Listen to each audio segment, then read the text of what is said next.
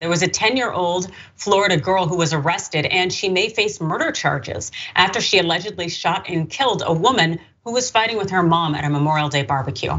This is an alleged photo of the 10 year old daughter with the gun.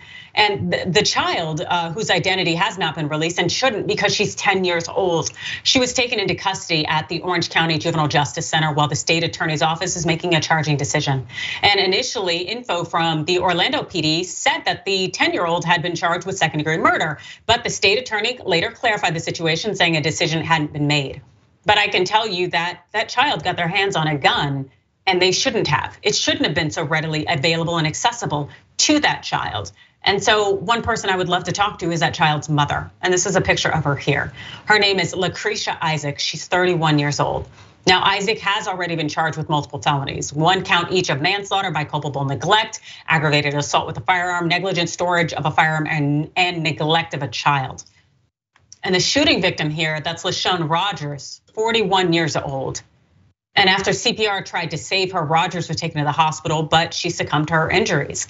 And about the details of what happened, we know that the two women were yelling at each other and apparently airing grievances over a prior dispute related to a social media post. And that's according to the arrest affidavit. But witnesses say the shouting turned physical after Isaac punched Rogers, who Uh, hit her in return. At one point in the fight, Isaac handed her daughter a purse that contained a pistol, according to an affidavit. As the altercation continued, police said the 10 year old fired two shots, striking Rogers in the head. Now, a witness told police that Isaac yelled, You've done shot the lady. Then the witness heard the child scream, You shouldn't have messed with my mama. This is this is this is so incredibly unfortunate here. You have a 10-year-old. That is a child. Essence of a child. They don't necessarily know any better. This child was handed a purse with a gun in it. What was she supposed to do when someone was attacking her mother? come on, this seems like a setup of a situation. And to consider charging this child, who I don't necessarily know who her caretakers are to begin with, but clearly her mother is facing charges already. So she doesn't have a mother in the picture, and she likely won't, because I expect her mother to be convicted and to face a sentence in some way. But this child, I believe, is the one who is really shortchanged here. And she should not be facing charges. Jackson. Yeah, and you know, the reality as well is that her entire life is now going to be altered and affected from this, and she doesn't yet understand, you know, exactly what she did or, you know, the fact that it was wrong or how it could have changed or any of that.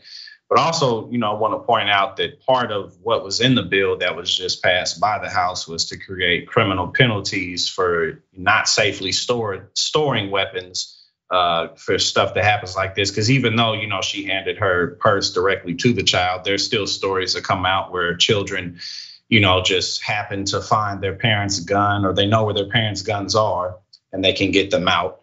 And then also part of the bill was to create tax incentives for retail sales of safer storage devices.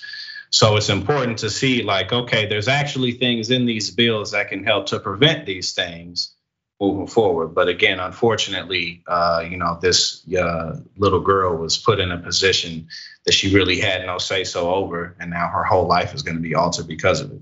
Absolutely. And just dealing with the trauma of knowing you took someone's life. And the thing is, she's 10 years old, so she may not even fully appreciate what she's done. But I, I I would like to think that as she gets older that she will and that that trauma will be lasting and stay with her and it was all because she had immediate access to a gun. And I definitely do hope the prosecutors um, definitely don't charge that 10-year-old. But in addition to that, prosecutors need to reassess who they're charging with these crimes that end up involving a child access having access to guns because I'm seeing a lot of brown and black people be charged when it's a child who accesses a gun and when it's a white person it's more of a oh well they've suffered enough no, if we're going to charge parents for providing access to weapons, we need to do it across the board uniformly and not just hit those black and brown people. But maybe that isn't an America that is in a better place that I definitely hope to be in.